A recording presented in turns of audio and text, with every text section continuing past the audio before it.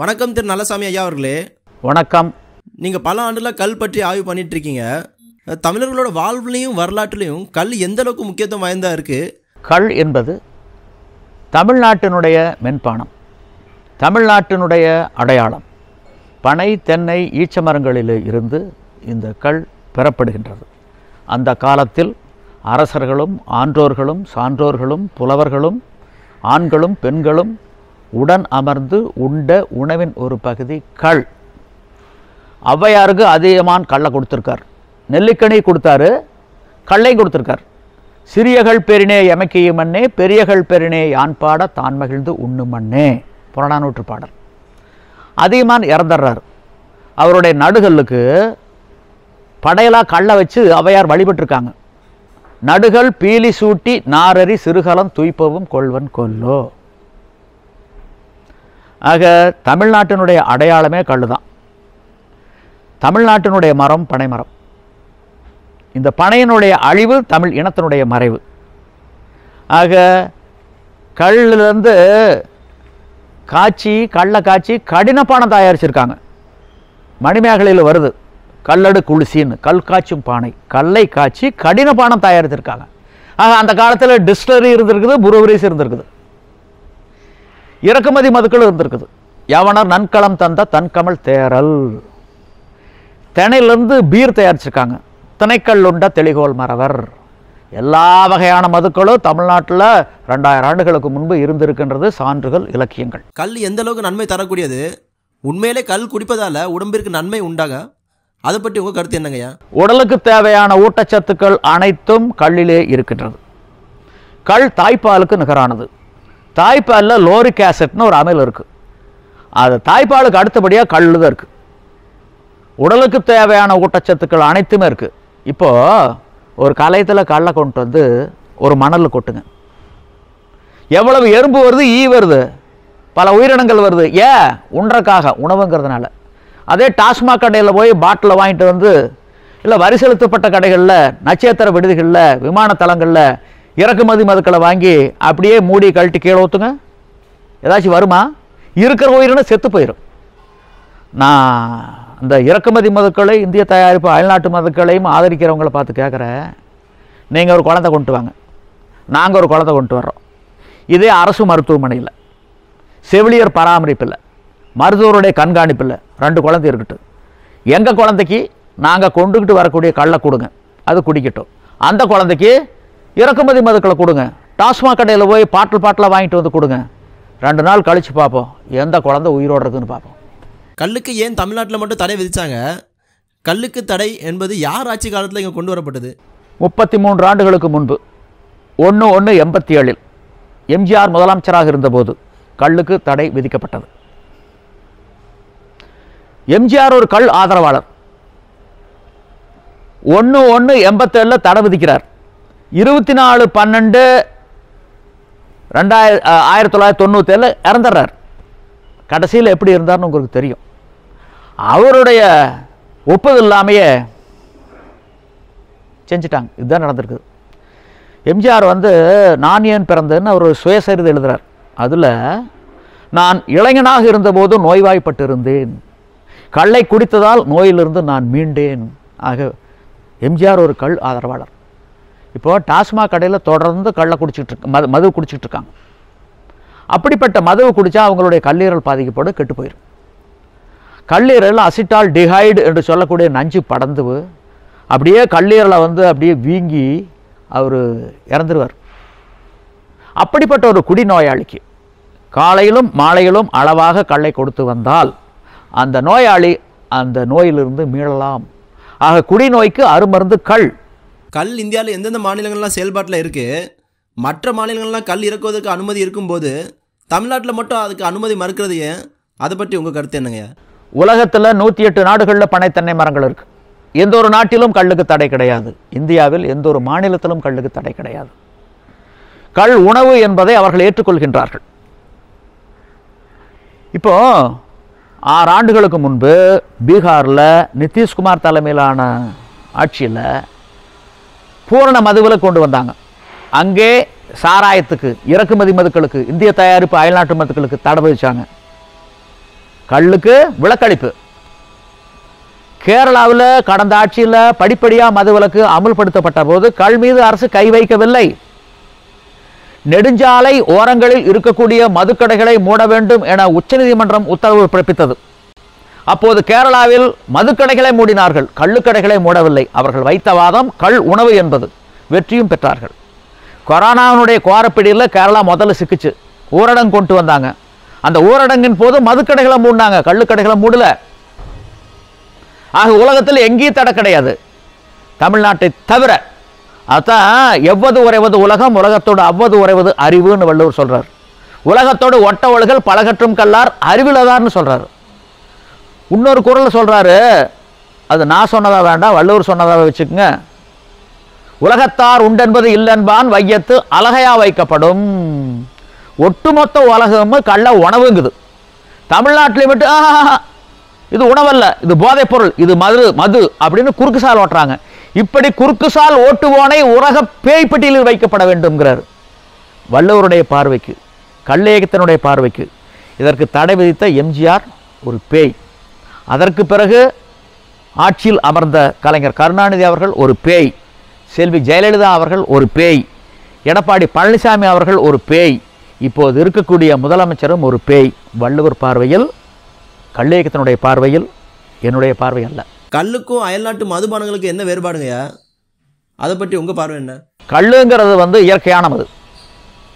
இறக்குமதி மதுக்கள்லாம் வந்து இப்போ பிராண்டி விஸ்கி ரம்மு சாராயம் இவைகள்லாம் வடித்தெடுக்கக்கூடியது. அதில் வந்து போதைக்கு காரணமான ஆல்கஹால் மட்டும்தான் இருக்குது. இதில் உடலுக்கு தேவையான ஊட்டச்சத்துக்கள் அத்தனை இருக்குது நீங்கள் கல்லை எதோட ஒப்பிடணும்? இப்போ நீங்கள் இட்லி தோசைக்கு மாவாட்டுறீங்கல்ல மாவாட்டினோன்னு இட்லி வருமா? சுட முடியுமா? இல்லை தோசை வார்க்க முடியுமா? முடியாது. அது புளிச்சு போகணும். அப்படி புளித்து போகின்ற பொழுது அதில் ஆல்கால் வந்துடுது போதை வந்துடுது நீங்கள் ஆக்குகின்ற சோறு சுடுசோத்தில் ஆல்கால் இருக்காது போதை இருக்காது. அதே பழைய சோறாக மாறும்போது ஆல்கால் வந்துடும் பாலில் இருக்காது தயிரில் வந்துடும் மோரில் வந்துடும் பழச்சாத்தில் இருக்குது ஆக தேனில் இருக்குது ஆக இதையெல்லாம் வந்து தயிரோட மோரோட பழச்சாத்தோட தேனோட தயிரோட தான் ஒப்பிடணுமே வெளியே இதை போய் வந்து இறக்குமதி மதுக்களோடவும் இந்திய தயாரிப்பு மயில்நாட்டு மதுக்களோடவும் ஒப்பிடுவது எப்படி இருக்கின்றதென்றால் ஒரு பசுவையும் பன்றியையும் ஒரே பட்டியல் அடைக்கச் சொல்வது போல் இருக்கின்றது.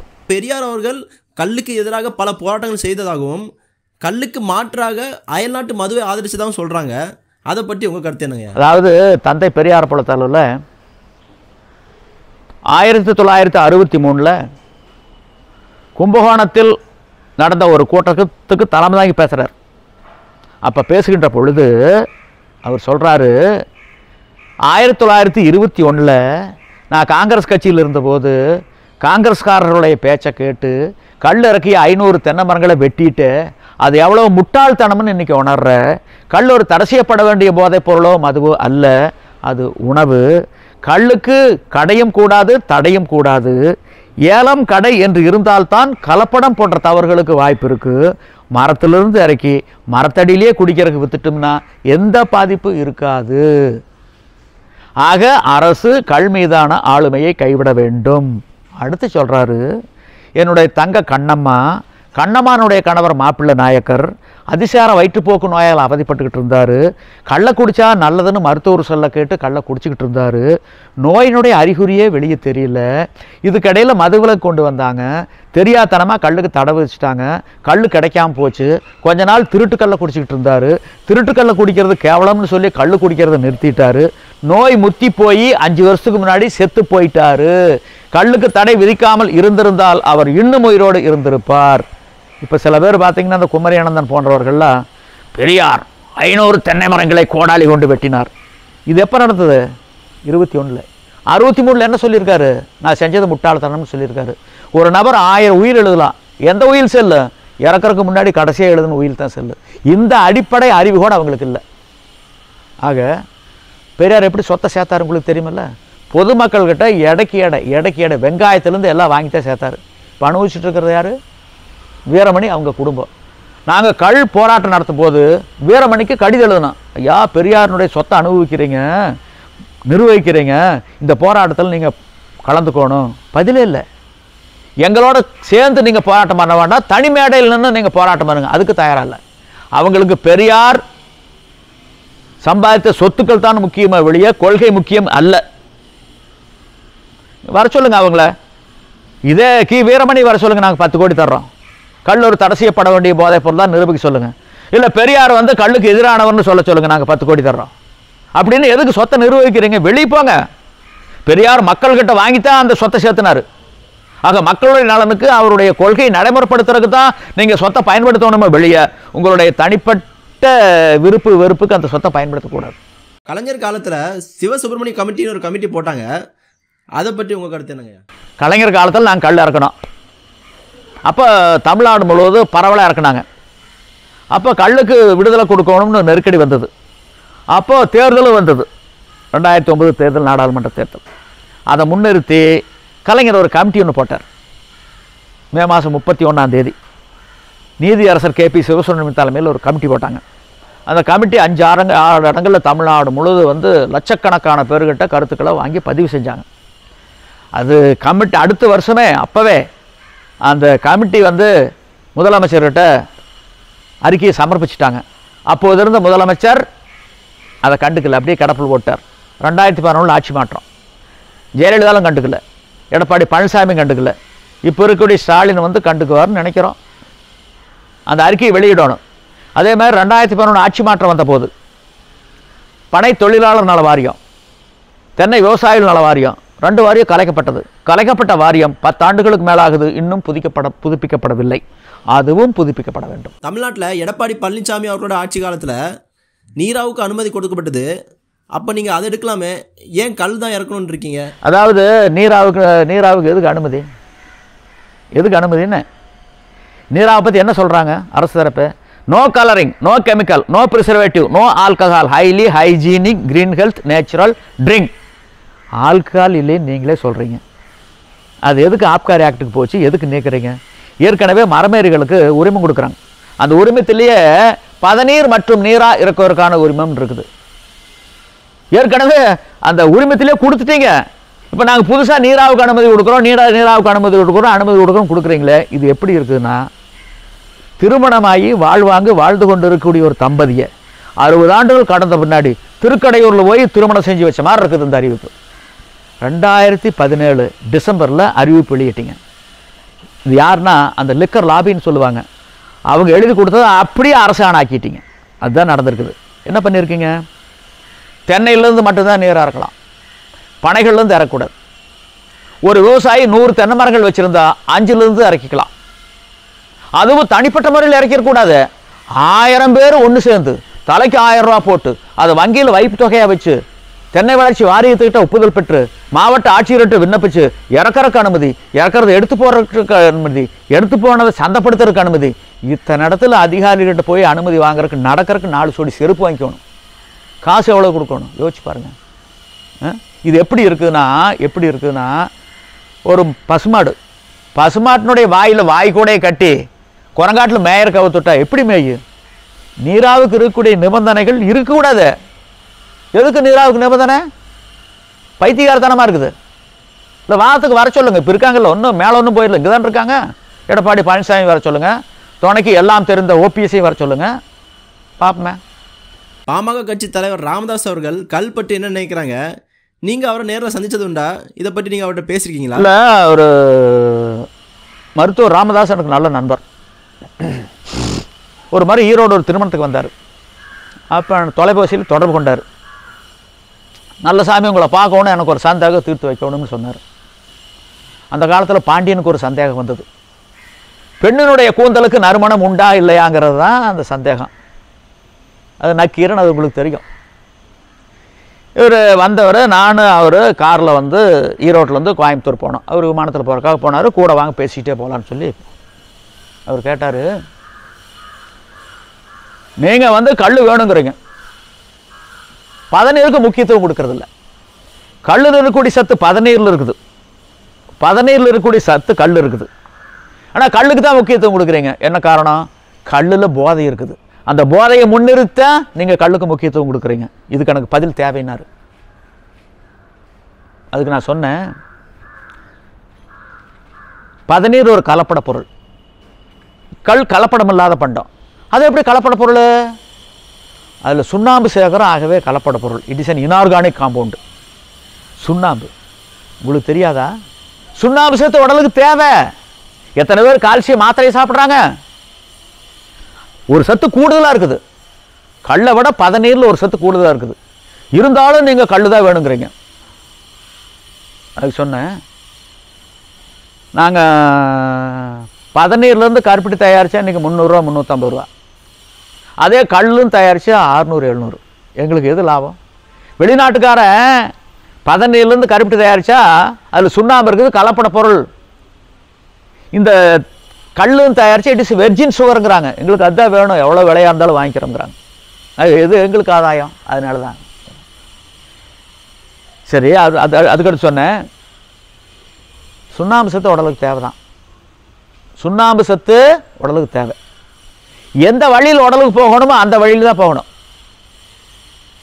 ஒரு கப் பால் குடிச்சு எடுத்து குடிச்சிங்கன்னா நூற்றம்பது கிராம் வந்து கால்சியம் இருக்குது அது வாயில் ஊற்றி தொண்டை வழியாக இறப்பிக்கு போய் அசிமுலேஷன் ஆகணும். தன்மயமாகி அது ரத்த நாளங்களுக்கு போய் எலும்பில் இருக்கக்கூடிய மஜ்ஜைக்கு போகுது. This is the proper channel இதுதான் முறையான வழி. உடம்புல வந்து இந்த சத்து இல்லை சுண்ணாம்பு சத்து இல்லை அப்படின்னு மருத்துவர் சொல்ல கேட்டு வீட்டுக்கு வந்து சுண்ணாம்பு சட்டியில் இருக்கக்கூடிய சுண்ணாம்பு அள்ளி அள்ளி வப்பு வப்புன்னு தின்னு என்னாகு? வாய் வெந்து போயிடும் அந்த ப்ராப்பர் சேனல் தான் போகணும். நம்ம உண்ணும்போது இறப்பையில் ஹைட்ரோகுளோரிக் ஆசிட் சுரக்குது. அது ஒரு அமிலம். எதுக்கு சுரக்குது? அந்த உணவில் இருக்கக்கூடிய கிருமிகளை கொள்றதுக்கும் உணவு ஜீரணிக்கிறதுக்கும் சுரக்குது. அது இயற்கையினுடைய படைப்பு. நம்ம உண்ணாத போது சுரந்துட்டுதுன்னா குடல் ஓட்டையை போட்டுருது. அது அல்சருங்கிறோம். அதனால தான் காலியாக வச்சுருக்காத மூணு வேளை சோத்தை ஆறு வேலையை ஆக்கிக்கோ அப்படிங்கிறாங்க. இதெல்லாம் சொன்ன பின்னாடி அப்புறம் வந்து ஏற்றுக்கிட்டாரு இப்போ அதுக்கு பின்னாடி அவர் கல் மேலே இருக்கக்கூடிய அந்த வெறுப்பை விட்டுட்டார். அவர் இப்போ கல்லை பற்றி சொல்லு இப்போ கல் ஆதரவாளராக மாறிட்டார். நாங்கள் அவர்கிட்ட இருந்து எதிர்பார்க்குறது நீங்கள் எங்கள் போராட்டத்தில் கலந்துக்குங்க. அதாவது நாங்கள் மதுவுக்கு எதிரானவங்க. அதுக்குள்ள மாறுபட்ட கருத்து கிடையாது. ஆனால் கள் உணவு. இன்னும் உலக அளவில் எல்லாம் ஏற்றுக்கிறாங்க அப்புறம் நீங்கள் மட்டும் ஏற்றுக்கலைங்கன்னா அப்புறம் உங்களே பேய் பட்டியலில் வைக்க வேண்டியது தான் ஏற்கனவே இந்த முப்பத்தி மூன்று ஆண்டுகளாக ஆண்ட முதல்வர்களை எப்படி வந்து பேய் பட்டியலில் வள்ளுவர் வைக்கிறாரோ அதே மாதிரி உங்களே வைக்க வேண்டியதுதான். மதிமுக கட்சி தலைவர் வைகோ அவர்கள் கல் பற்றி என்ன நினைக்கிறாங்க? அவர்கிட்ட நீங்கள் இதை பற்றி நேரில் பேசியதுண்டா வைகோ என்னுடைய நண்பர். ஒரு தேர்தல் அறிக்கையில் கல்லுக்கு வைத்திருக்கக்கூடிய தடையை நீக்கணும்னு சொன்னார். எங்களை அழைச்சி நல்ல மதிப்பு மரியாதையோட அவங்க கூட்டங்களில் கல்லுக்காரராக பேச வச்சார். பின்னாடி சசி பெருமாள் உங்களுக்கு தெரியும் காந்தியவாதி. அவர் எங்களுக்கெல்லாம் நண்பர். எங்கள் போராட்டங்களில் கலந்துருக்கார். அது வைகோக்கெல்லாம் தெரியாது. வைகோக்கோ திருவமாளவனுக்கோ தெரியாது. அவர் வந்து கன்னியாகுமரியில் ஒரு செல்ஃபோன் டவரில் ஏறி அங்கேயே உயிரிட்டுறார் அந்த இறந்த உடலை இவங்கெல்லாம் தூக்கிட்டு வந்து சேலத்தில் ஊர்வலம் விட்டு அவங்க சொந்த ஊர் இடம் இளம்பல்ல. இளம்பல்லையில் அடக்கம் பண்ணுற கொண்டு வந்து போட்டிக்குள்ளே வச்சுருக்காங்க கண்ணாடி போட்டிக்குள்ளே. ஒரு இறுதிச் சடங்கு இரங்கல் கூட்டம். பெரிய மேடை. அந்த மேடையில் வைகோ திருமாவளவன் முத்தரசன் ராமகிருஷ்ணன் இவிகேஷ் இளங்கோவன் குமரி அனந்தன் எல்லா தலைவர்களும் இருக்காங்க. முன்னாடி மேடைக்கு முன்னாடி பணம் கிடக்குது. ஒரு ஒரு ஐயாயிரம் ஆறாயிரம் பேர் இருக்குது கூட்டம். மு க. ஸ்டாலின் ஒரு ரெண்டாயிரம் பேர்த்தோடு வந்தார். வந்து மலர் வலை வச்சுட்டு அவர் போனார். அதுக்கு பின்னாடி நாங்கள் கல்லேக்கத்தின் சார்பில் எங்கள் கல் ஆதரவாளருங்கிறதுனால ஒரு அஞ்சு பேர் போய் ஒரு சின்ன மாலை வச்சோம். வைகோ உடனே மைக்கை வாங்கி சத்தம் போட ஆரம்பிச்சிட்டார்.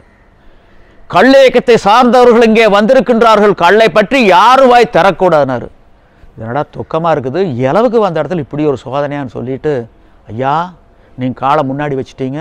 வெச்ச காலை பின்வாங்கக்கூடாது. பத்து கோடி ரூபா பரிசு இருக்குது. பத்திரிகை ஊடகங்கள்லாம் வந்திருக்காங்க. நேரடி ஒளிபரப்போட வந்திருக்கிறாங்க. இங்கேயே வாத வாத வச்சுக்கலாம். நீங்கள் பின்வாங்கக்கூடாது. சவால். யோசிச்சு பார்த்தாரு. நண்பர் நல்லசாமியினுடைய மனது புண்படும்படி பேசிவிட்டேன். வருத்தப்படுகிறேன். எஸ்கேப் போய போயிட்டார். நாம் தமிழர் கட்சி தலைமை ஒருங்கிணைப்பாளர் சீமான் அவர்களுக்கு கல் இறக்குவதை பற்றிய நிலைப்பாடு என்னங்கய்யா? சீமான் வந்து கல் ஆதரவாளர். எங்கள் ஊரில் அரச்சலூரில் நாங்கள் வந்து கல் இறக்கிறத ஒரு முடிவு பண்ணி கல் இறக்கணும். ஏழ்நூறு காவலர்கள் ரெண்டு காவல்துறை கண்காணிப்பாளர்கள். ஒரு நாள் அந்த கிராமத்துக்குள்ளே எந்த வாகனத்தையும் விடல. அதையும் மீறி இறக்கணும். அந்த போராட்டத்தில் சீமான் கலந்து கொண்டார்.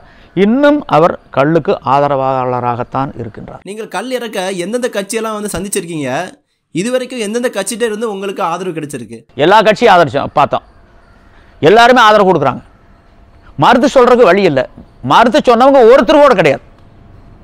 அதாவது கல் தடையை நீக்க வேண்டும் அப்படின்னு நாங்கள் சொன்னதுக்கு இல்லை இல்லை நீக்கக்கூடாதுன்னு சொன்ன தலைவர் ஒருத்தர் கூட கிடையாது. இலங்கைக்கு போயிட்டு வந்து ரெண்டாயிரத்தி எட்டில் ஜெயலலிதா அம்மாவை பார்த்தோம். அந்த அம்மா இப்போ எதிர்க்கட்சி தலைவர்.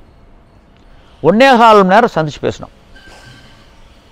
அந்த அம்மாவை கொஞ்சம் பிடிச்சிக்கிட்டது ஏமா நீங்கள் தோத்தைங்கன்னு சொன்னோடனே அப்புறம் பேச்சு ஒரு மணி நேரத்துக்கு மேலே ஆயிடுச்சு. அப்போ அதெல்லாம் முடிஞ்ச பின்னாடி அந்த அம்மா கேட்டாங்க இது வரல உங்கள் கோரிக்கையில் இருக்கக்கூடிய நியாயத்தை நிரூபிச்சிட்டிங்க. எங்கிட்ட ஆட்சி அதிகாரம் இல்லை. எதை எதிர்பார்த்து வந்திருக்கிறீங்க? அம்மா உங்கள்கிட்ட ஆட்சி அதிகாரம் இல்லைன்னு எங்களுக்கு தெரியுங்கம்மா. வர்ற ஜனவரி இருபத்தொன்னாந்தேதி கல் இறக்கிறதா முடிவு பண்ணியிருக்கிறோம். இந்த அரசு எங்கள் மீது அடக்குமுறையை மேற்கொண்டால் உங்களுடைய நிலைப்பாடு என்ன? தெரிந்து கொள்ள விரும்புகின்றோம். வாட் இஸ் யுவர் ஸ்டாண்ட் யோசிச்சு சொன்னாங்க உங்களுக்கு ஆதரவாக இருப்போம்னு. ரெண்டாயிரத்தி ஒன்பது நாடாளுமன்ற தேர்தல். ராமநாதபுரம் மாவட்டம் பரமக்குடியில் கல்லுக்கு குரல் கொடுத்தாங்க. ரெண்டாயிரத்தி பதினொன்று சட்டப்பேரவை தேர்தல். அப்போது கோவை மாவட்டம் பொள்ளாச்சியில் நடந்த பொதுக்கூட்டத்தில் கல்லுக்கு விதித்திருக்கக்கூடிய தடையை நீக்குவோம்னு அறிவித்தாங்க உடனே என்னை பார்க்க விரும்புகிறாங்க நான் ஈரோட்டில் இருந்தேன். அப்போ ஈரோட்டில் வந்து அந்த வாசிவு கல்லூரியில் ஒரு ஹெலிகாப்டர் இறங்கறதுக்கு தளம் அமைச்சிருந்தாங்க. அப்புறம் என்னை என்னை வந்து பார்க்க கொண்டு விரும்பினதுனால ரெண்டு முன்னாள் அமைச்சர்கள் வந்து என்னை அழைச்சிட்டு போனாங்க. அந்த அம்மா ஹெலிகாப்டர்லேருந்து இறங்கி என்கிட்ட வந்தாங்க. நல்லா இருக்கீங்களா? நல்லா இருக்கிறாங்கம்மா. பொள்ளாச்சியில் நடந்த பொதுக்கூட்டத்தில் கல்லுக்கு வைத்திருக்கக்கூடிய தடையை நீக்குவோம்னு சொல்லி அறிவிச்சிருக்கீங்க. இது வாக்காளர் மத்தியில் நல்ல வரவேற்பை பெற்றுள்ளது. நீங்கள் இந்த தேர்தலில் வெற்றி பெறுவீர்கள் முதலமைச்சராவீர்கள். வாழ்த்துக்கள் வாழ்த்துக்கள். நன்றி நன்றி நன்றின்ட்டு சொல்லிட்டு போன அம்மாளை கடைசி வரலும் பார்க்க முடியல. இது அவங்களுடைய நிலைப்பாடு. உலகத்தமிழ் செம்மொழி மாநாடு நடந்தது. அப்போ கலைஞர் கருணாநிதி அவர்கள் முதலமைச்சர். அப்போது அந்த வளாகத்துக்குள்ளே கள்ள வைக்கிறதா முடிவு பண்ணோம். இது அரசியலமைப்பு சட்டம் எங்களுக்கு கொடுத்திருக்கும் உணவு தேடும் உரிமை. It is right to food as per article forty seven of the Indian Constitution உங்கள்கிட்ட நான் அனுமதி கேட்க வேண்டிய அவசியம் இல்லை. இது அரசியலமைப்பு சட்டப்படி தான் நீங்கள் முதலமைச்சராக உட்காந்துருக்கீங்க அதனால் கள்ள சந்தப்படுத்துகிறோம் காவல்துறை வந்தாங்க. எங்கே விற்பீங்க எத்தனை பேர் விற்பீங்க யார் யார்? பட்டியல் கொடுங்க. அதெல்லாம் எங்களுக்கு தெரியாது. இது உணவு தேடும் உரிமை. எங்கே வேணாலும் வைப்போம் எப்படி வேணாலும் வைப்போம் எத்தனை பேர் வேணாலும் வைப்போம். ஆனால் தடுத்தீங்கன்னா இந்த மாநாட்டினுடைய நோக்கமே செதஞ்சு போயிடும் உங்களுக்கு கெட்ட பேர் வந்துடும் பயந்து போயிட்டாங்க. உடனே கலைஞர் அழைச்சார். அந்த ரெசிடென்சின்னு ஒரு ஹோட்டலில் தங்கியிருந்தார். காலையில். அப்புறம் காலையில் அவர் வந்து ஒரு லுங்கி கட்டிக்கிட்டு ஒரு பனியன் போட்டுக்கிட்டு வந்திருந்தார் ஐயா எவ்வது உறைவது உலகம் உலகத்தோட அவ்வது உறைவுன்னு வள்ளுவர் சொல்லியிருக்காரு. ஆனால் உலகம் எப்படி போகுதோ அதன்படி போகிறது தான் அறிவுன்னு வள்ளுவர் சொல்கிறாரு உலகத்தில் நூற்றி எட்டு நாடுகளில் பனைத்தன்னை மரங்கள் இருக்குது எந்த ஒரு நாட்டிலும் கல் இறக்கவும் பருகவும் தடை இல்லை. தமிழ்நாட்டில் மட்டும் தடை இருக்குது. இது உலகளாவிய நடைமுறைக்கு மாறானது. அப்படி உலகளாவிய நடைமுறைக்கு மாறாக ஒரு ஆட்சியாளர் இருந்தால் எவ்வது உறைவது உலகம் உலகத்தோடு அவ்வது உறைவது அறிவு. உலகத்தோடு ஒட்ட ஒழுகல் பழகற்றும் கல்லார் அறிவிலதார். அந்த ஆட்சியாளரை அறிவில்லாதவர்னு வள்ளுவர் சொல்கிறாருங்க ஐயா. அந்த சொல்லு மேலான முதலமைச்சராடிய தாங்களுக்கு வரணுங்களா? யோசிச்சு சொல்லுங்கய்யா. உடனே பார்த்தாரு. கள் முக்கியமானது தேவையானது அவசியமானது கவனிக்கிறேன். இப்போதைக்கு உலகத்தமிழ் செம்மொழி மாநாட்டை சிறப்பாக நடத்துவோம். ஆதரவு தாருங்கள். என் ஆதரவு தந்துட்டு மேலே போனார்னு உங்களுக்கும் தெரியும். அதில் சிறப்பு விருந்தினர் சிறப்பு விருந்தினர். இலங்கையிலேருந்து சிவத்தம்பி வந்திருந்தார். அவருடைய நண்பர். நான்கு முறை அவரை போய் பார்த்தோம். அந்த ரெசிடென்சி விடுதியில் போய் பார்த்தோம். அப்போ கனிமொழி வந்திருந்தாங்க. இப்போ நாடாளுமன்ற உறுப்பினராக இருக்காங்களா அவங்க. கவாமா இவர் யார் தெரியுதா? தெரியலைங்கய்யா. என்னம்மா அது? நீ எங்கே இருக்கிற? தமிழ்நாட்டில் இருக்கிறியா? வேற இருக்கிறியா? இருக்கிறியா இவர்தாம்மா நல்ல சாமி தமிழ்நாட்டினுடைய மென்பானத்துக்காக போராடிக்கிட்டு இருக்காரம்மா. கல்லுக்கு விடுதலை கேட்டு போராடிக்கிட்டு இருக்காரு. தெரியாதுங்கிற? இதை பாரு. தமிழ்நாட்டில் தமிழனுடைய ஆட்சியாக நடக்குது? தமிழனுடைய மென்பான கல் தமிழ்நாட்டின் அடையாள அதுக்கு தடை இறக்குமதி மதுக்களுக்கு இந்திய தயாரிப்பு அயல்நாட்டு மதுக்களுக்கு கடை. என்ன நியாயம் இது? இது வேதனைக்குரியது. ஏமா என்னை அழைக்கிறதுக்கு அங்கே வந்தையல்ல நான் கூட சொல்லிட்டு போகிறேன் உங்கள் அப்பாட்ட சொல்லு. உங்கள் அப்பாட்ட சொல்லு. நானும் சொல்கிறேன் நம்ம சிரிச்சுக்கிட்டே போயிட்டாங்க.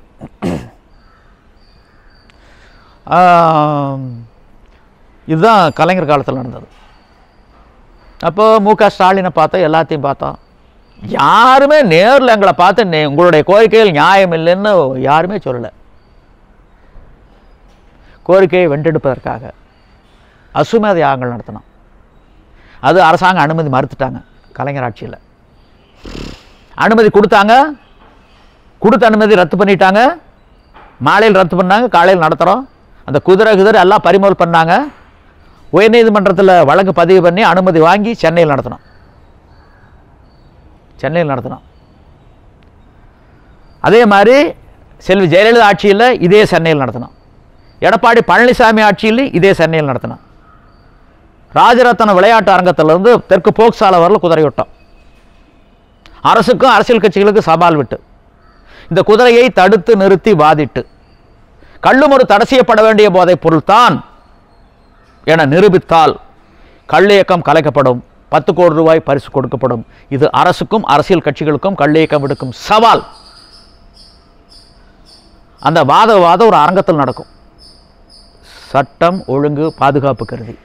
பத்திரிகை ஊடக நண்பர்கள் மட்டுமே பார்வையாளர்களாக இருப்பார்கள். நேரடி ஒளிபரப்புக்கும் இருக்கும். யாருமே வரல. சென்னை பிரகடனம்னு அறிவித்தோம் யாருமே வரல. ஹிட்லர் வந்து ரஷ்யா மேலே படையெடுக்கிறாரு எதிர்ப்பே இல்லாமல் படம் போயிட்டே இருக்குது. அந்த மாதிரி எங்கள் கோரிக்கை போயிட்டே இருக்குது. உங்களுக்கு எதுக்கு ஆட்சி? எதுக்கு கட்சி? எதுக்கு தலைவர் பதவி? வெக்கமா இல்லை. இதுதான் சென்னை பிரகடனம்னு முடித்தோம் எங்களுக்கு வெக்கம் சூடு சொரணை ஏதும் இல்லைன்ட்டாங்க. இடதுசாரிக்கு இல்லை வலதுசாரிக்கு இல்லை தேசிய கட்சிக்கு இல்லை மாநில கட்சிக்கு இல்லை லெட்டர் பேடு கூட இல்லை. இதுக்கு மேலே என்ன பண்ணுறது எங்கள் பின்னாடி மக்கள் வராங்களான்னா வந்தாங்க நிறையா போராளிகள் வந்தாங்க. போராளிகள் வந்தாங்க. கல் இறக்குனாங்க. நாற்பது வழக்கு ஐம்பது வழக்குகளை சந்திச்சாங்க. எல்லா வழக்கிலும் வெற்றி விடுதலை. காலப்போக்கில் காவல்துறை இருக்குது. ஒரு காவல்துறை. மதுவிலக்கு பிரிவு காவல்துறை. மதுவிலக்கு பிரிவு. காவல்துறையில் மதுவிலக்கு பிரிவு இருக்குது. அட மதுவே ஆறா ஓடிக்கிட்டு இருக்குது. மதுவிலக்கு பிரிவுன்னு எதுக்கு? இது வேடிக்கையா இல்லை விந்தையா இல்லை அப்புறம் போராளிகள் இருந்தாங்க. எல்லாத்தையும் நான் குறை சொல்ல ஒரு சில பேர் என்ன ஆனாங்கன்னா காலப்போக்கில் எங்களோட தொடர்பு துண்டிச்சுக்கிட்டாங்க. என்னடா காணாமல் எங்கே போனாலும் தெரியலையே அப்படின்னு போய் பார்த்தா விசாரித்து பார்த்தா நாங்கள்லாம் போலீஸுக்கு புரோக்கராக மாறிட்டோம். போலீஸுக்கு புரோக்கராக மாறிட்டோம். இப்போ பாரு வந்து பாரு. நான் ரோட்டில் போகும்போது போலீஸ் ஸ்டேஷனில் சேர் கொண்டாந்து போடுறாங்க கோர்றக்கு ஊரில் வந்து வார் என்ன மரியாதைன்னு ஒரு மதுவிலக்கு பிரிவு இன்ஸ்பெக்டர் ஆய்வாளர். அவர் வீட்டு திருமணம். எங்கள் ஊர்லேருந்து ஒருத்தர் போயிருந்தார் அந்த திருமணத்துக்கு.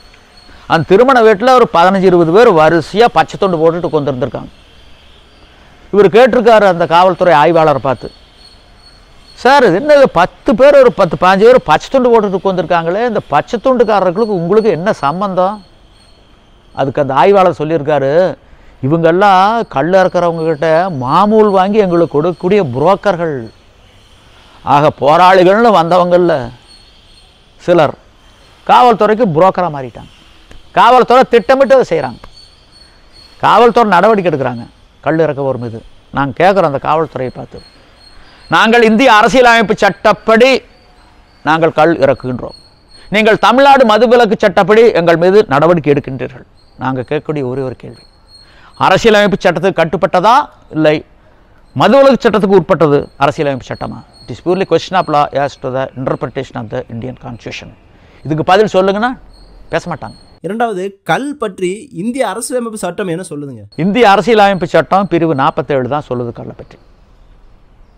நாற்பத்தி ஏழாவது ஆர்டிக்கல் அதில் என்ன சொல்கிறாங்கன்னா the state shall regard raising the level of nutrition and the standard of living of its people and the improvement of public health as among its primary duties and in particular the state shall endeavour to bring about the provision of the consumption except for medicinal purposes of intoxicating drinks and of drugs which are injurious health அரசனுடைய கடமை மூணு சத்தான உணவை மக்களுக்கு கொடுப்பது முதல் கடமை.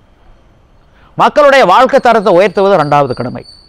உடல்நலத்தை பேணி பாதுகாப்பது மூன்றாவது கடமை. இதற்காக மது விலக்கு கொண்டு வருகின்ற பொழுது மருந்துகளுக்கு விலக்களித்து விட்டு மருந்துகளுக்கு விலக்களித்து விட்டு intoxicating drinks and of drugs which are injurious health உடலுக்கு கேடு விளைக்க விளைவிக்கக்கூடிய பானங்களுக்கு பண்டங்களுக்கு தான் தடை விதிக்கணும். கல் ஒரு அருமருந்து. உங்களுக்கு சொன்னல முன்னாடியே? தாய்ப்பாலுக்கு நிகரானது. குடிநோயாளிக்கு அருமருந்து. சித்த வைத்தியத்தில் முக்கியமான மூலப்பொருள் கல். பெரியாரே சொல்லியிருக்காரு. என்னுடைய தங்கையினுடைய கணவர் கள்ள குடிச்சதுனால நோயிலிருந்து மீண்டார்னு. எம்ஜிஆர் சொல்லியிருக்காரு. நான் சிறுவனாக இருந்தபோது நோய்வாய்ப்பட்ட போ- பட்டிருந்தேன். கள்ளை குடித்து நோயிலிருந்து மீண்டேன்னு சொல்லி சுயசரிதில் பதிவு பண்ணுறாரு ஆக மருந்துகளுக்கு விலக்களித்து விட்டு. Intoxicating drinks and of drugs which are injurious to health ஆக இது எப்படி இருக்குன்னா செய்தக்க அல்ல செய்யக்கடும் செய்தக்க செய்யாமல் யானும் கடும். சீமச்சாராயங்களுக்கு இறக்குமதி மதுக்களுக்கு தடை வச்சுருக்கணும் இந்திய தயாரிப்பு அயல்நாட்டு மதுக்களுக்கு அதாவது டாஸ்மாக் மதுக்களுக்கு தடை வச்சிருக்கணும் கல்லுக்கு விலக்களிச்சிருக்கணும் ஆனால் செய்யக்கூடாததை செய்கின்றார்கள். செய்ய வேண்டியதை செய்யவில்லை. செய்தக்க அல்ல செய்யக்கடும் செய்தக்க செய்யாமை யானும் கடும். நீங்கள் பேசும்போது திருவள்ளுவரோட திருக்குறளோட மேற்கோள் காட்டி பேசுகிறீங்க ஆனால் திருவள்ளுவரே கல் உண்ணாமை அப்படின்னு சொல்லியிருக்காரு. இது முன்னுக்கு பின் முரணா இருக்கே. கல் உண்ணாமைன்னு வள்ளுவர் சொல்லியிருக்காரு. நான் மறுக்கல. கல் இனிதானதுன்னு சொல்லியிருக்கார். உள்ள கழித்தலும் காண மகிழ்தலும் கல்லுக்கு கீழ் காமத்துக்குண்டு உள்ளினும் தீரா பெருமகிழ் செய்தலால் கள்ளினும் காமம் இனிது. உண்டார்கன் அல்லது அடுனரா காமம் போல் கண்டார் மகிழ் செய்தது இன்று. இதுக்கு என்ன பதில் சொல்கிறாங்க சரி. வள்ளுவர் கள்ள உண்ணாமைன்னு சொன்னார். கள்ள குடிக்க வேண்டாங்க. நீங்கள் இறக்குமதி மதுக்களையும் இந்திய தயாரிப்பு அயல்நாட்டு மதுக்களை கொடுன்னு சொல்லியிருக்காரா? குடி சொல்லியிருக்காரா? இல்லை என்ன ஆலகாலவசமா இல்லை இறக்குமதி மதுக்களும் இந்திய தயாரிப்பு அயல்நாட்டு மதுக்களும் தேவாமிர்தங்களா? சரி வள்ளுவர் என்ன சொல்கிறாரு வள்ளுவர் ஒரு பகுத்தறிவுவாதி. பெரியாருக்கெல்லாம் முன்னோடி. எப்பொருள் யார் யார்வாய் கேட்பினும் அப்பொருள் மெய்ப்பொருள் காண்பது அறிவு. அறிவுக்கு வரையறை சொல்லும்போது ஏ வள்ளுவராகிய நான் சொன்னாலும் பெத்தவங்க சொன்னாலும் பெரியவங்க சொன்னாலும் ஆசிரியர்கள் சொன்னாலும் ஆன்றோர்கள் சொன்னாலும் ஆட்சியில் இருந்து இருக்கிறவங்க சொன்னாலும் ஆண்டவனே சொன்னாலும் நீ அப்படியே ஏற்றுக்கொள்ளாதே. அதில் இருக்கக்கூடிய உண்மையை அறிந்து தெரிந்து தெளிந்து புரிந்து ஏற்றுக்கொள். கொள்ளுவதை கொள்ளு தள்ளுவதை தள்ளுங்கிறாரு. இதுதான் பகுத்தறிவு. வல்லவர் சொன்னதை அப்படியே ஏற்றுக்குன்னு அவரே சொல்லலையே? அதில் இருக்கக்கூடிய உண்மை இருந்தால் ஏற்றுக்கோ அடுத்தது பார்த்தீங்கன்னா சரி வள்ளுவர் கொல்லாமின்னு சொல்லியிருக்காருல்ல புலால ஒன்றையுமேன்னு சொல்லியிருக்காருல்ல இப்போ இங்கே சென்னையில் தமிழ்நாட்டில் இருக்கக்கூடிய ஓய் இல்லை கசாப்பு கடையிலெல்லாம் மூடுங்க. வள்ளுவர் சொல்லியிருக்கார் கொல்லாமைன்னு சொல்லியிருக்கார் புலால உணமைன்னு உண்ணாமைன்னு சொல்லியிருக்கார். மூடிட முடியுமா? ஏய் யாரும் கடலுக்கு போகாதீங்க மீன் பிடிக்காதீங்க. வள்ளூர் சொல்லியிருக்காரு கொல்லாமைன்னு சொல்லியிருக்காரு புலால உண்ணாமைன்னு சொல்லியிருக்காரு. இலங்கைக்கும் தமிழ்நாட்டுக்கும் ஆழ்கடலில் இருக்கக்கூடிய மீனவர் பிரச்சனைக்கு முற்றுப்புள்ளி வச்சிடலாமே வள்ளுவர் வழியை பின்பற்றினா?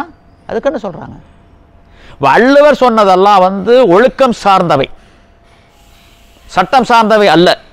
ஒழுக்கம் சார்ந்தவை என்பது ரெக்கமெண்டேட்டரி பரிந்துரை. அவர் பரிந்துரை பண்ணியிருக்கார் ஆனால் சட்டம் சார்ந்த ஒன்றுங்கிறது மேண்டேட்டரி நடைமுறைப்படுத்தக்கூடியது. சட்டம் என்ன சொல்லுது? அரசியலமைப்பு சட்டம் என்ன சொல்லுது? விளக்களிக்க சொல்லுது. அதை வச்சு தானே பீகாரில் நிதிஷ்குமார் தலைமையிலான அரசு கல்லுக்கு விளக்களிச்சிட்டு இறக்குமதி மதுக்களுக்கு இந்திய தயாரிப்பு அயல்நாட்டு மதுக்களுக்கு சாராயத்துக்கு தடை வச்சாங்க? அக்கம் பக்கத்தில் இருக்கிறவனை பார்த்து ஆட்சி பண்ணுறதுக்கு அறிவு இல்லையா உங்களுக்கு? ஆ? இல்லை வாங்க நீங்கள் வாங்க. இன்னைக்கு இருக்கக்கூடிய எல்லா எல்லா இப்போ எம்ஜிஆர்கிட்ட வாரத்துக்கு போக முடியாது. அவர் மேலே இருக்கார். அவரை வரவழைக்க முடியாது. கலைஞரே வரவழைக்க முடியாது. ஜெயலலிதாவே வரவழைக்க முடியாது. இப்போ இருக்காங்க இபிஎஸ் ஓபிஎஸ் கூட்டணி. ரெண்டு பேர் வாங்க. மு க ஸ்டாலின் இருக்கார்ல உட்காருங்க.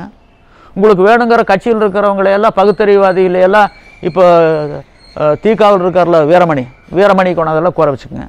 உங்கள்கிட்ட இருக்கக்கூடிய ஐஏஎஸ் ஐபிஎஸ் அதிகாரிகள் சட்ட வல்லுநர்கள் எல்லாம் ஒரு பக்கம் கூற வைங்க.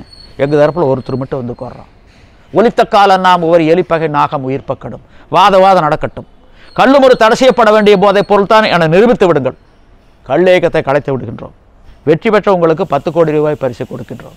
பத்து கோடி உங்களுக்கு பெருசாக இல்லை அதெல்லாம் வந்து அற்ப பணமாக இருக்குது என்ன நீங்கள் தான் ஒரு லட்சத்து எழுபத்தாறாயிரம் கோடிங்கிறீங்க. ஐயையோ கண்டாவே நடுங்குது. அப்படியெல்லாம் புரண்டுகிட்டு இருக்கீங்க. உங்களுக்கு அது அற்ப தொகையாக தெரியும். ஆனால் நாங்கள் உங்களிடம் தோற்று போனால் நாங்கள் சான்றோராவோம். கள்ளியக்கம் கலைக்கப்படும் கோரிக்கை கைவிடப்படும் நல்வழிக்கு நாங்கள் மாறிக்கொள்வோம். சால்பிற்கு கட்டளையாதனில் தோல்வி தொலையலார் கண்ணும் குழல். ஒரு மனிதன் சான்றோனா இல்லையா என்பதற்கு உரைகள் எது என்றால் தோல்வியை தவறை ஒப்புக்கொண்டு தன்னை திருத்திக் கொள்பவன் மாற்றிக்கொள்பவன் சான்றோன். அந்த அடிப்படையில் கள்ளையக்கம் தோல்வியை ஒப்புக்கொண்டு தன்னை திருத்திக்கும் தன்னை மாற்றிக்கும் சான்றாண்மை கொண்ட இயக்கமாக மாறும். அப்போதும் எங்களுக்கு தோல்வி கிடையாது. எப்போதும் இந்த இயக்கம் தோல்வி அடையாது. வாங்க வந்து பாருங்க. தைரியம் இருந்தால் வாங்க துணிச்சல் இருந்தால் வாங்க. தமிழ்நாட்டில் இருக்கக்கூடிய எட்டு கோடி மக்கள் யார் வந்தாலும் எதிர்கொள்கிறோம் வாங்க வாங்க. அப்புறம் எதுக்கு தமிழ்நாட்டில் உயிரோடு இருக்கீங்க? அதான் சொன்ன ஒரு புலவன். தமிழர் என்ற ஒரு இனம் உண்டு தனியாக அதற்கு ஒரு குணம் உண்டு. இந்த இழி குணம் தான். ஜல்லிக்கட்டில் எப்படி இளைஞர்கள் திரண்டு வந்தாங்களோ அந்த மாதிரி வந்தால் வெற்றி பெறுவோம். எங்களை பொறுத்தளவு நாங்கள் ஒரு கோழி. கோழி காலையில் கோவத்தான் முடியும். அதனால் கொட்டி விட்டு தூங்கிட்டு இருக்கிறவனை போய் கொத்தி எழுப்ப முடியும்? அப்படி கொத்தி எழுப்புனா என்ன நடக்கும் பிடிச்சிருக்கான் குறவலைய அடுத்து கோழி குழம்பு தான் மணக்கு. அது எங்களுடைய வேலை அல்ல. அநியாயம் நடக்குது நடக்குது நடக்குதுன்னு. நியாயம் தான் மண்டையில் மூளை இருக்குல்ல? எட்டு கோடி மக்களுக்கு மூளை இருக்குல்ல? இல்லை மூளையெல்லாம் வ- வ- ஏன் வர மறுக்கிறீங்க? ஏன் ஊழலுக்கு உடந்தையாக போகிறீங்க என் வீட்டில் எவ்வளோ எவ்வளோ கொடுப்பேன் நீ எனக்கு? பேரம்பேசியில் குத்துறான். பஞ்சாயத்து தேர்தலேருந்து பாராளுமன்ற தேர்தல் வரையில் தேர்தல் வெற்றி தோல்வியை நிர்ணயம் செய்யக்கூடியது பணமாக தான் இருக்கு. டாஸ்மாக் மது. ஏன் ஆளுகின்ற கட்சி எதிர்க்கட்சி எல்லா கட்சியும் அங்கே கூத்துருக்காங்க சாராய பணக்குள்ள அருட்செல்வர்னு கேள்விப்பட்டிருக்கீங்களா? மகாலிங்கம்னு? ஒரு ஆறு வருஷத்துக்கு முன்னாடி ஒரு காலமாயிட்டார். அவர் ஒரு தொழில் அதிபர் அஞ்சு சர்க்கரை ஆலைக்கு சேர்மனாக இருந்தவர். அவருடைய பத்திரிக்கை ஓம் சக்தி. ஓம் சக்தி டிசம்பர் இதழ் எழுதுகிறார் காலி பாட்டில் விலை மூணு ரூபா. உள்ள இருக்கக்கூடிய பிராந்தினுடைய மதிப்பு ஒன்பது ரூபா. அடக்க விலை பன்னெண்டு ரூபா. டாஸ்மாக் கடையில் வைக்கிறது முந்நூற்றி எண்பது ரூபா. எவ்வளவு லாபம் என்பதை கணக்கிட்டுக் கொள்ளுங்கள். அதை எம்ஜிஆர்லேருந்து எடப்பாடி பழனிசாமி இப்போ இருக்கக்கூடிய ஸ்டாலின் எல்லாம் சாராய பானக்குள்ள வந்திருக்காங்க இப்போ இந்த தேர்தலுக்கு முன்னாடி எடப்பாடி பழனிசாமி அவங்கள சந்தித்தேன் அப்போ சொன்னேன் நான் மு க ஸ்டாலினை பார்க்க போயிருந்தேங்க ஐயா. மனு கொண்டு போயிருந்தேன் கல்லையகத்தின் சார்பா? அங்கே முன்னாள் அமைச்சர் ஒருத்தர் இருந்தார். ஏன் இங்கே வர்றீங்க? எங்கள் ஆளுக்கு செய்யவா போகிறாங்க எங்கள் ஆளுக்கு பூரா சாராயம் காய்ச்சற ஆளுங்க எங்கள் ஆளுக்கு செய்ய போகிறதில்ல எடப்பாடி பழனிசாமி போய் பிடிங்க அமுத்துங்க. அவர் செய்ய போனால் யாரும் செய்ய போகிறதில்ல அங்கே போய் பாருங்க. இங்கே வராதீங்க. ஏன் நேரத்தை விரைய மாட்டேறீங்க அப்படின்னு அந்த முன்னாள் அமைச்சர் சொல்லி அறிவுரை கூறி அனுப்புனாருங்க ஐயான்னு சொல்கிறோம் புன்னகை. பதில் இவர்கிட்ட கிடைச்சது எங்களுக்கு புன்னகை. ஏதாவது நான் ஒன்று சொல்கிறேன் கல்லுக்கு வைத்திருக்கக்கூடிய தடையை எடப்பாடி பழனிசாமி நீக்கி அறிவித்திருந்தால் ஸ்டாலின் முதலமைச்சராக இருக்க முடியாது. பனை தென்னை ஈச்சமரங்கள் இருந்தால் அவற்றிலிருந்து பதைநீராகவோ நீராகவாகவோ கல்லாகவோ இறக்கியும் குடித்தும் விற்றும் கொள்ளலாம். இவற்றை மதிப்பு கூட்டப்பட்ட பண்டங்களாக மாற்றி உள்நாட்டிலும் உலக அளவிலும் சந்தைப்படுத்தியும் கொள்ளலாம். கடை ஏலம் இல்லை. அரசினுடைய தலையீடு குறுக்கீடு இருக்காது. அதே நேரத்தில் கலப்படம் போன்ற தவறுகள் நடப்பதாக கண்டறியப்பட்டால் கடுமையான தண்டனை இருக்கும் என்ற அறிவிப்போடு நிறுத்தியிருந்தா. இந்த தேர்தல் ஆணையம் தேர்தல் தேதி அறிவிக்கிறதுக்கு முன்னாடி எடப்பாடி பழனிசாமி தலைமையிலான அரசு இதை வெளியிட்டிருந்தால் ஆட்சியை எளிதாக தக்க வைத்துக் கொண்டிருக்க முடியும். இதுதான் பிரமாஸ்திரம் ஏவுங்கன்னு இப்போ வந்து ஸ்டாலின் சொல்கிறார்ல தமிழ்நாடு தொழில்துறையில் மூன்றாவது இடத்துல இருக்குதுங்கிறார் வளர்ச்சியில். மூன்றாவது இடத்துல தமிழ்நாடு இருக்குதுங்கிறார். அது முதல் இடத்துக்கு போகணும்னா. இப்போ நான் சொன்ன அறிவிப்பு வெளியிடுங்க. கல்லுக்கு விடுதலை கொடுங்க. அரசனுடைய தலையீடு குறுக்கீடு இருக்காதுன்னு சொல்லுங்கள் கல் ஒரு கிரீன் இண்டஸ்ட்ரி சுற்றுச்சூழலை பாதிக்காத ஒரு தொழில். இதுக்கு மின்சாரமே தேவையில்லை. இப்போ நிலக்கரி இல்லை மின்னு விட்டு வரப்போகுது வரப்போகுதுங்கிறாங்க. கல்ல இறக்கறதுக்கு மின்சாரம் தேவையா? ஏன் இப்படிப்பட்ட தொழில்? இன்னைக்கு உலகம் முழுவதும் சூடாகிட்டு இருக்குது. ஐம்பது வருஷத்தில் சென்னை கடல் தண்ணியில் மூழ்குங்கிறாங்க. சொல்கிறாங்கல்ல அண்டார்டிகாவில் இருக்கக்கூடிய பனிப்பாறைகள்லாம் கீழே விழுந்தெல்லாம் தனியாக உருகுது. கடல் மட்டும் ஒசருது. சென்னை போன்ற பெருநகரங்கள் பெருநகரங்கள் கடலால் விழுங்கப்படுங்கிறாங்க குளோபல் வார்மிங்கிறாங்க இது சுற்றுச்சூழலை பாதிக்காத ஒரு தொழில். இன்றைக்கி உலகம் முழுவதும் சூடாகிட்டு இருக்குது. இந்த கடின பானங்களுக்கு வரவேற்பு இருக்காது. இப்போ பிராண்டிக்கோ விஸ்கிக்கோ ரம்முக்கோ சாராயத்துக்கோ வோட்காவுக்கோ மரியாதை இருக்காது. கல்லுக்கு உலக அளவில் மரியாதை இருக்குது பெரும் வரவேற்பு இருக்குது பெரிய அளவில் அந்நிய செலாவணி ஈட்டலாம் தமிழ்நாடு தலை நிமிரும் முதன்மை மாநிலமாக உருவாகும். இது உறுதி. கல் இறக்க வேண்டும் என்கிற உங்களோட நீண்ட நாள் கோரிக்கை வெற்றி பெறுமா பெறாதா? நடக்கும் என்பார் நடக்காது நடக்காது என்பார் நடந்துவிடும். சுதந்திரத்தினுடைய விலை மக்களுடைய விழிப்புணர்வு. மக்கள் செம்மறியாடுகளாக இருக்கின்ற வரை கல் தடை தொடரும். எப்போது சிந்திக்கின்றானோ அப்போது கல் தடை காணாமல் போகும். செம்மறியாடுகளாக இருக்கும் வரை ஆட்சியாளர்கள் ஓநாய்களாகத்தான் இருப்பார்கள். அது எம்ஜிஆர்லேருந்து இப்போது இருக்கக்கூடிய முதல்வர் வரல பொருந்தும் நாங்கள் எங்களுதெல்லாம் திறந்த புத்தகம். யார் வேணாலும் பார்த்துக்கலாம் யார் வேணாலும் பார்த்துக்கலாம். தொடர்ந்து பல கேள்விகளுக்கு ரொம்ப பொறுமையாக பதில் சொன்னீங்க. நன்றிங்கய்யா. வணக்கம்.